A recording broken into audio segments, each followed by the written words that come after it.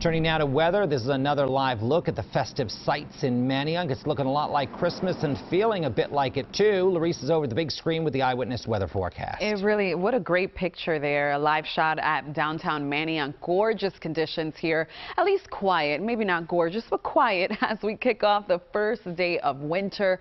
And we're nice and clear right now, and that looks to be the case here even as we approach the first half of the morning before clouds begin to fill in closer to lunchtime. By 9 a.m., temperatures will be in the 30s. By noon, we're tracking temps in the 40s. Winds remain nice and calm for us.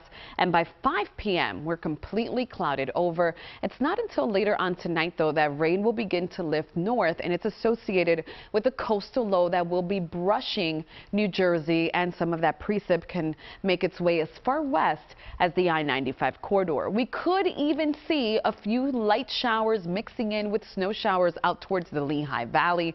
But as this system moves north and east, notice 3 a.m. on Wednesday, a lot of it will be north and east as the core of the system stays offshore.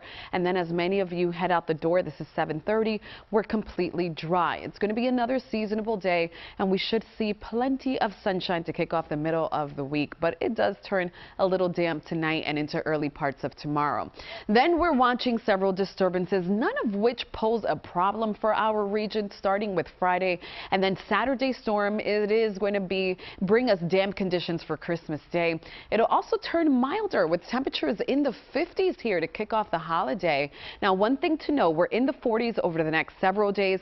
The mildest day of the bunch will be on Saturday to kick off Christmas. And that is the day we will see scattered showers throughout the day, but it does look we clear out just in time for Saturday evening.